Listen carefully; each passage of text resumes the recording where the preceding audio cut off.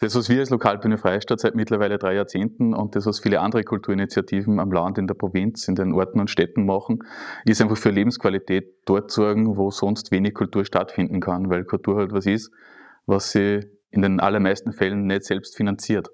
Also äh, fast jede Veranstaltung kostet mehr Geld, als sie reinbringt. Äh, nicht nur, weil die Künstlerinnen und Künstler Gagen haben wollen, von denen sie leben können, nicht nur, weil die Mitarbeiterinnen und Mitarbeiter in den Kulturvereinen was verdienen wollen, sondern auch, weil dort ganz viel rundherum passiert. Da gibt es äh, Leute, die die Tontechnik machen, es gibt Leute im Management, in den Agenturen, die die Künstlerinnen und Künstler vertreten.